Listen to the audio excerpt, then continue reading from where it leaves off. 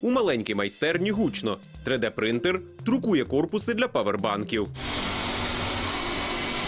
За сусіднім столом 14-річний Ярослав паяє батареї. Війна почалася, рішив допомагати військовим, тому що павербанк, гарний павербанк стоїть такий, як оце у нас, 3-4 тисячі. А якщо він виходить собі вартість 200-300 гривень, то чому їх не робити військовим? Павербанки робимо з одноразових електронних сигарет. Їх потрібно 36 штучок. Е, В один павербанк 40 тисяч мА. Крім павербанків, робить ще й ліхтарики. Як їх створювати, дізнався з інтернету. Передаємо безкоштовно військовим е, через TikTok ідуть запити. Пишуть мені. Це вже за рік, може, штучок 200 такі передали. Захисники надсилають хлопці звіти з подяками. Доброго дня, Ярослав. Ваш павербанк. Дякую вам.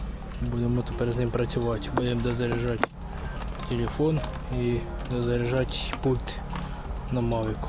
Та крім павербанків, восьмикласник збирає ще й дрони камікадзе.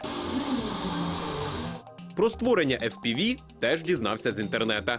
Після чого пройшов курс та звернувся до благодійників, які забезпечили його матеріалами для перших дронів. А далі вже про його хобі дізналися у школі. Він так наче проговорився, щоб хотів би зібрати свій дрон. А оскільки ліцей, в якому навчається Ярослав, регулярно проводить ярмарки, на яких збирає кошти для сил оборони, вирішили підтримати молодого техніка. Ми можемо підтримати своїх учнів, бо це ж наше майбутнє.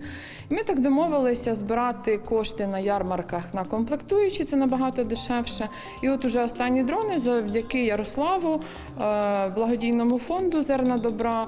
е, Вони нам допомагали закупляти ці комплектуючі, і ми вже так співпрацюємо. Тепер Ярослав регулярно передає військовим не лише павербанки, а й дрони камікадзе. Від себе особисто і від всієї нашої ударної групи висловлюю подяку наймолодшому, наймолодшому волонтеру Ярославу, який збирав ці дрони. Особисто він їх паяв, збирав. Наразі восьмикласник Ярослав вже зібрав та передав силам оборони близько десятка дронів камікадзе, які нищать ворога на фронті. Владислав Величко, Костянтин Царинок. Ми Україна. Марафон. Єдині новини.